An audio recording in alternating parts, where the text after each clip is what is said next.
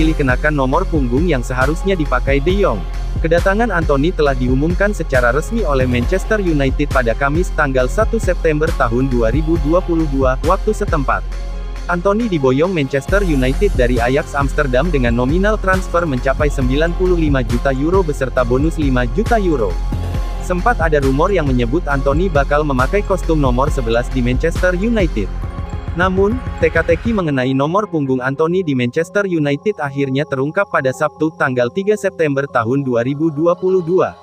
Manchester United menyampaikan bahwa Anthony memilih nomor punggung 21. Nomor tersebut memang lowong setelah Edinson Cavani cabut dari Man United pada musim panas 2022.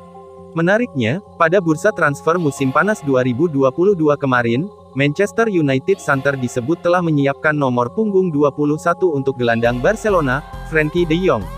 Manchester United menggoda de Jong dengan jersey 21 karena mengetahui de Jong sangat menyukai nomor tersebut. Namun, de Jong tetap mengatakan tidak mempunyai keinginan untuk bergabung dengan Manchester United.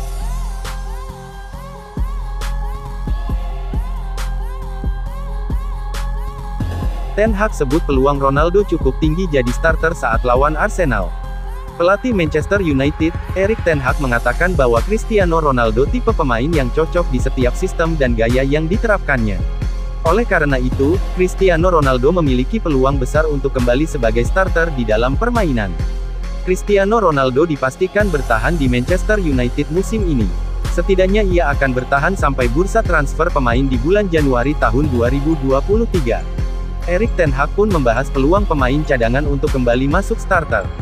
Ten Hag sebenarnya sudah mulai menemukan konsistensi pada tiga laga Liga Inggris terakhir. Manchester United racikan Ten Hag bahkan selalu menang dalam tiga pekan terkini Premier League. Setelah mengalahkan Liverpool 2-1, Manchester United berturut-turut menggulung Southampton 1-0 serta Leicester 1-0. Dalam tiga kali kemenangan Manchester United tersebut, Ronaldo hanya sebagai pemain di bangku cadangan. Sejak bencana kekalahan telak 0-4 dari Brentford pada pekan kedua Premier League, nama Ronaldo memang tak pernah lagi muncul di susunan starter Manchester United besutan Ten Hag.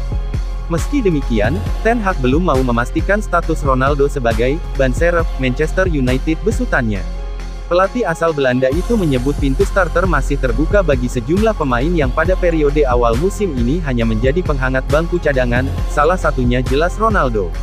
Sebelum duel melawan Leicester, Ten Hag juga menyatakan bahwa Ronaldo akan bisa menyesuaikan diri dengan gaya melatihnya. Anda bisa lihat dalam latihan dia punya kemampuan. Jadi, dia akan cocok sebab dia adalah, saya tak perlu menjelaskannya, seorang pemain hebat, tutur Ten Hag. Dia memiliki kemampuan hebat, jadi dia akan cocok di setiap sistem dan gaya, kata Ten Hag menambahkan.